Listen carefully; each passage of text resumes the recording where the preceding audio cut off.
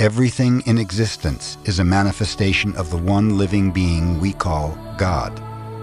Everything is God.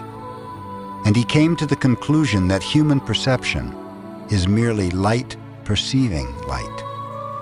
He also saw that matter is a mirror.